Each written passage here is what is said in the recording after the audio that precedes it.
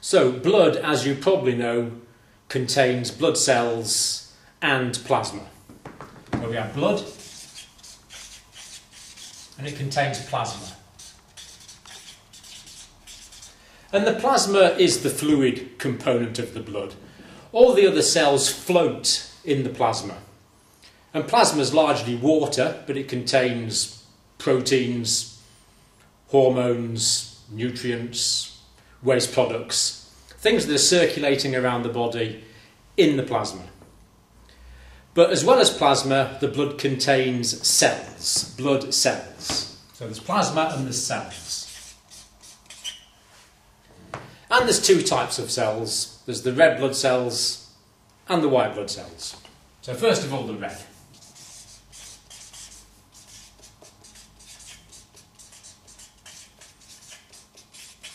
The red cells are the erythrocytes. Erythro actually means red. And these are well-known cells in anatomy and physiology. They're biconcave discs. They have an area of central pallor, which is a third or less of the diameter of the whole cell. And looked at from the side, we can see why they have an area of central pallor. It's because they're biconcave discs. And these red cells are transporting the oxygen around the body. But what we're particularly interested in the context of the immune system are the white blood cells. So there's red cells and there's white cells. And the white cells are correctly termed the leukocytes. Now, some people do spell it with a K, but the English traditional English spelling is with a C, leucocytes. The white blood cells. And if there's an increase in the number of white blood cells in the blood, that's called a leukocytosis. So a leukocytosis is an increase in the number of white blood cells.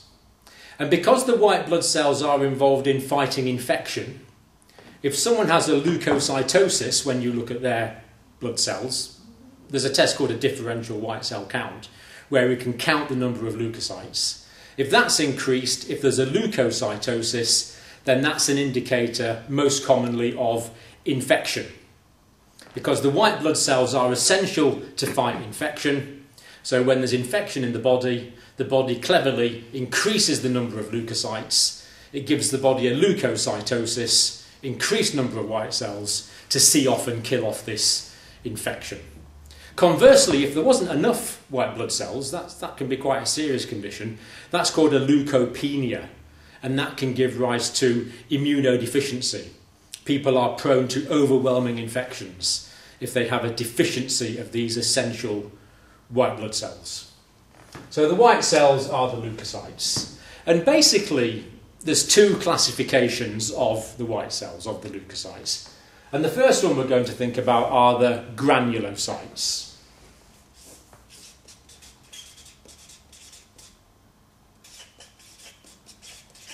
The granulocytes. And these are so called because they have a granular looking cytoplasm under light microscopy. And there's actually three types of granulocytes we're going to consider. The first is basophils.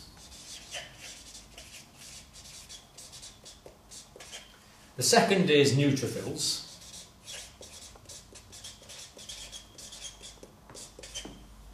And the third is eosinophils.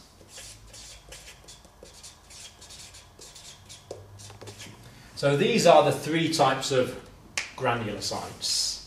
So we've said the white cells are the leukocytes. One type of leukocyte is the granulocytes, and there's three types of granulocytes: basophils, neutrophils, and eosinophils.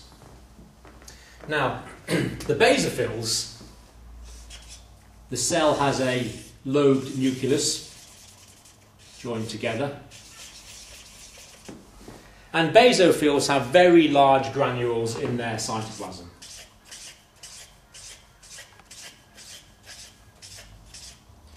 Actually, now we know that they're not really granules. We now know that they're vesicles containing various chemicals. Now, there's very few basophils actually present in the blood, but basophils migrate into the tissues where we call them mast cells. And the mast cells are very important in the local inflammatory response. So, basophils with very large vesicles or granules. Then we can think about eosinophils. Now, the eosinophils also have a lobe nucleus, and again it's joined together. And the eosinophils have medium sized granules in their cytoplasm. And again, we know these aren't granules, we now know they're vesicles containing various chemicals important in immune defense. The eosinophils. And the eosinophils, if there's an increase in the number of eosinophils, that's called an eosinophilia, an increase in the number of eosinophils. Eosinophilia. And that can happen in allergic reactions. It can happen when there's chronic inflammation and it also happens, do you know when else you get an eosinophilia? Allergic reactions, chronic inflammation. What's the other classic condition where you get eosinophils? An increase in eosinophils. Well, it's where you have parasitic, parasitic infections. So if you're working in tropical countries and you're getting multicellular parasitic organisms causing infection, an eosinophilia can be the telltale sign of that. So basophils, eosinophils, then neutrophils. Now neutrophils are by far and away the most abundant form of granulocytes in the blood. And the neutrophils have a lobe nucleus of several lobes. It can be three lobes, sometimes it's four lobes.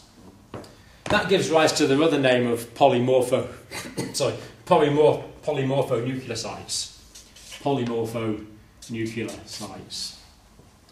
Polymorphonucleocytes. And these have relatively small granules in their cytoplasm. And again, we know they're not granules, we know that they are vesicles. And if there's an increased number of neutrophils, that's called a neutrophilia, an increased number of neutrophils in the blood. And you get a neutrophilia particularly with bacterial infections. Because the neutrophils will migrate to areas where there's bacterial infection. They'll start phagocytosing the bacteria, so the body needs to produce more. So, if there's an area of infection, that can be detected by some of the cells in that area, particularly the macrophages. The macrophages will produce cytokines, which are chemical messengers. These cytokines will go off to the bone marrow. In the bone marrow, there are reserves of neutrophils, the polymorphonuclear cell, cells, and these will come into the blood. You'll get an increased number of neutrophils in the blood, there'll be a neutrophilia. But the really clever thing is the neutrophils migrate to where the infection is, and you'll find them in the tissues where there's areas of infection, where they'll deal with that bacterial infection. So neutrophilia if there's too many neutrophils, neutropenia if there's not enough neutrophils, neutropenia. And sometimes there's a great reduction, a very significant reduction in the number of neutrophils, and that's often referred to as an agranulocytosis. An agranulocytosis. What that would literally mean is no granular cells, because these are, of course, granulocytes. And if there's a very significant reduction, an agranulocytosis, that patient's life is at risk from overwhelming bacterial infection because that's what the neutrophils do. They counter bacterial infection. So, granulocytes, basophils, neutrophils, eosinophils. The next classification of cells are the agranulocytes.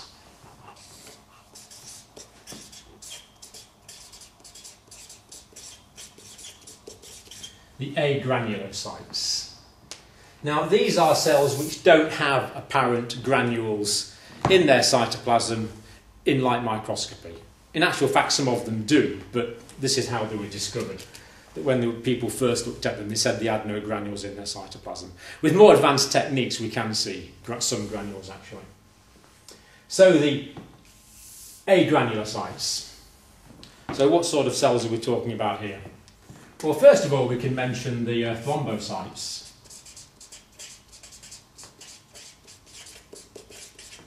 What's the other name for thrombocytes? Do you remember the thrombocytes?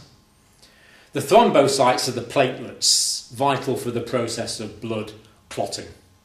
They're really cell fragments that are present in the blood, but they're absolutely vital for blood clotting. Other agranulocytes are monocytes.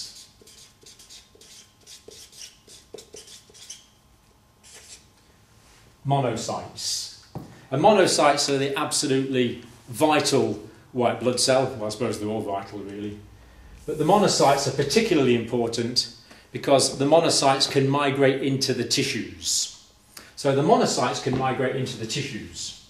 And in the tissues, the monocytes will become what we call macrophages, big eaters, macrophages. So monocytes can become macrophages. The monocytes actually in the blood have a typically a sort of a horseshoe shaped nucleus, really, a kidney shape, more like a kidney bean shaped nucleus, it's that kind of shape. But when the monocytes migrate into the tissues, they change their name to macrophages. So in the blood, they're called monocytes, in the tissues, they're called macrophages. And if there's any bacteria or dead cells in the tissues to eat, these monocytes, which are now macrophages, will eat lots and lots of this necrotic material. they will eat lots and lots of bacteria and antigenic material in the process of phagocytosis. and they become, can become really big cells, macrophages, big eaters. And monocytes can also give rise to another type of cell called dendritic cells. Well, I'm saying that monocytes can give rise to dendritic cells. That's almost certainly true. Almost certainly true. And the dendritic cells are dendrites. Do you know what dendrites are? It's like branch-like processes, isn't it, dendrites? So the dendritic cells have like branch-like processes like this, coming off the central part here. and what these do is they collect antigens and they present the antigens to the lymphocytes. So they're sometimes called antigen presenting cells, APCs. So these dendritic cells are present in areas like the skin. If they come across an antigen, they will take that antigen in. Then the dendritic cells will migrate to the lymph nodes. In the lymph nodes, the dendritic cells, the antigen presenting cells, will present this antigen to the lymphocytes, and the lymphocytes will then mount a specific immune response. So, really, these dendritic cells are sometimes described as the link between innate immunity and specific immunity. Innate in that they can pick up a very wide variety of antigens in the skin or wherever they are in the mucous membranes, but then they go off to the lymph nodes, communicate with the lymphocytes, which mount a highly specific immune response to the particular antigen. So agranulocytes, thrombocytes, monocytes which can become macrophages or dendritic cells. What's the other big classification of agranulocytes in the blood and also found in the lymphatic tissue?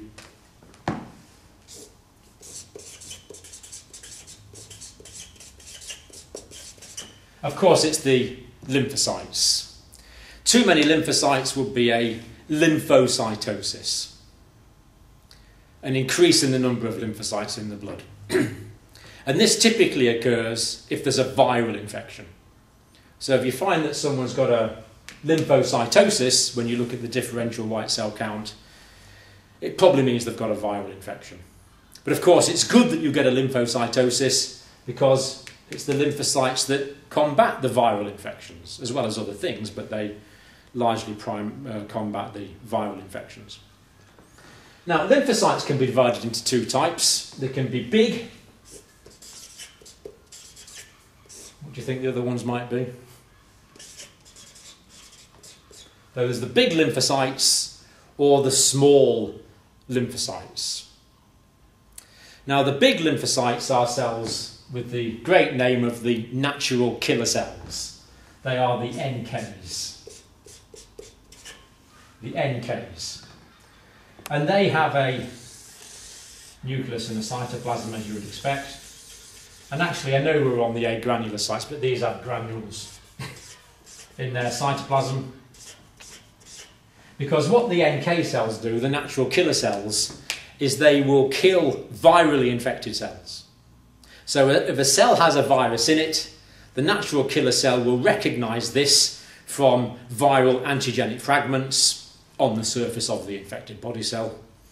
and these cells don't mess about, they just kill the whole cell. That's bad because it kills your own cells, but it's also good because all the viruses were inside and they're all killed at the same time. So lymphocytes can be big, which are the NKs, or it can be small. And all the small lymphocytes have a very large nucleus compared to the size of the cytoplasm. They have a large nucleus. So we have small lymphocytes.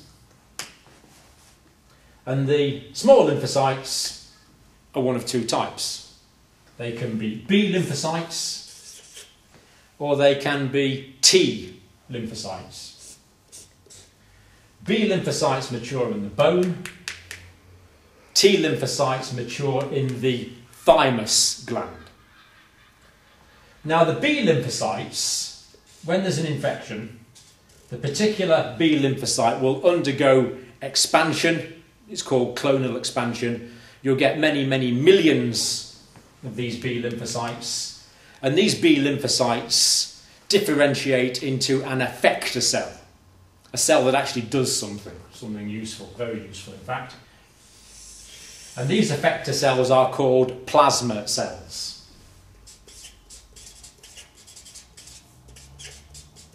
The plasma cells. And the plasma cells have a smaller nucleus but they have a very large arrangement of endoplasmic reticulum and apparatus to excrete material from the cell because what the plasma cells do is they produce the immunoglobulins. They are the factory for the antibodies. So these are producing lots and lots of absolutely vital antibodies, which are Y-shaped molecules. And these antibodies are specific to the particular antigen that the B cell line has been activated against. so the B cells differentiate into plasma cells which produce the antibodies, absolutely vital to fight the infection. Now the T cells are slightly complicated because there's three types of T cells. There's T helper cells, T suppressor cells, and there's T cytotoxic. T cytotoxic cells. Now, again, the number of T cells will increase when there's a particular infection to combat. And the helper cells work because the helper cells stimulate the B cells to produce the antibodies, the immune proteins. So exactly as the name says, the helper cells, the T helper cells, stimulate the B cells or help the B cells to produce antibodies. And actually, do you know a disease where the T helper cells are particularly affected? What disease primarily kills off T helper cells? Well, that's HIV, human immunodeficiency virus. Human immunodeficiency virus causes acquired immunodeficiency syndrome. AIDS is primarily a disease of the T helper cells. But then we don't want these immune processes to get carried away. So when the particular antigen has been dealt with, when that's been killed off, the T suppressor cells will also stimulate the B cells and they'll tell them to stop or limit the immune response. So the T helper cells help the immune response, the suppressor cells limit it and tell it when it's time to stop mounting the immune response. And the T cytotoxic cells work in much the same way as the natural killer cells, but they work in a much more specific way. They'll work against virally infected cells and they'll also work against some cancer cells. So just to review the agranulocytes, the agranulocytes, we have thrombocytes and monocytes. The monocytes can differentiate into macrophages or dendritic cells. The other type of agranulocyte is the lymphocytes. Lymphocytes can be big or small. The big lymphocytes are the NKs, the natural killer cells. The small lymphocytes can be B, which differentiate into plasma cells, which are the factory for the antibodies. Or the small lymphocytes can be T, and they can be T helpers, T suppressors, or T cytotoxic cells. So, the white cells, the leukocytes, are absolutely vital for the processes of immunity. A deficiency of any one type of white cell will lead to immunodeficiency, potentially overwhelming infection, and of course that can lead to death. So we depend on our white cells all the time to keep us alive.